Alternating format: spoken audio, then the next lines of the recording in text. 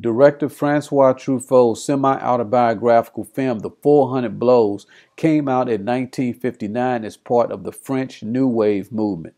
This film follows the difficult life of a boy named Antoine, played by Jean Pierre Léaud.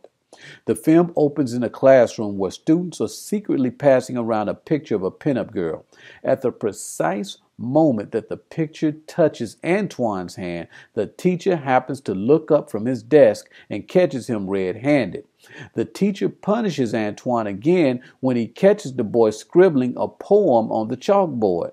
And it gets no better at home for Antoine as his young mother, played by Claire Maurier, and stepfather, played by Albert Remy, bicker about money in front of him and complain about how much he eats.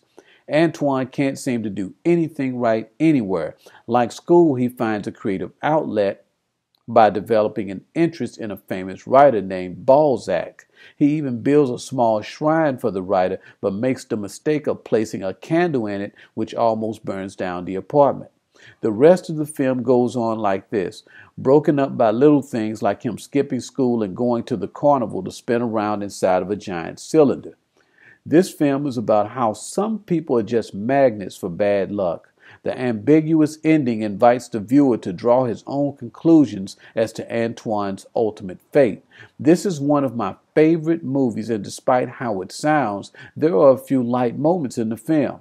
There's a lot of ways to look at the 400 blows. In some ways, it's inspirational in that with all the negativity Antoine deals with, that he's still resilient enough to try to have a childhood such as the carnival scene that we were all once kids before we grew up. Criterion did a great job on this film. I have the DVD and it still looks good.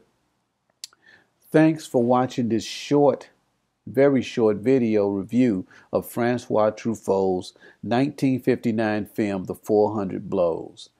If you like this video, I would appreciate if you would leave a like, and I would also appreciate if you would leave a comment.